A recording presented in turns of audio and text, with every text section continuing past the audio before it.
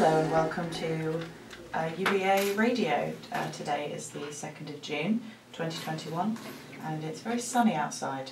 So uh, everyone's going to the beach and getting slightly sunburned.